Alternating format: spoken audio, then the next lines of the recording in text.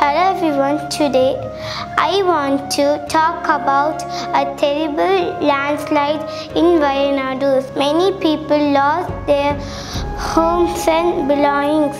They need our help.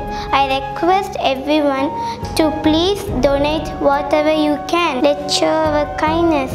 Thank you. It is reported over 400 people have been killed in this massive landslides. Besides, 150 people are found missing and another 300 are already admitted in the hospital.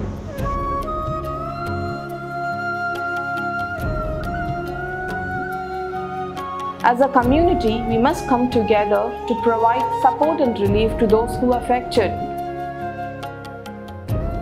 Our brothers and sisters are in need of help. வாருங்கள் உதவிக்கரம் நீட்டி மனிதம் காப்போம்.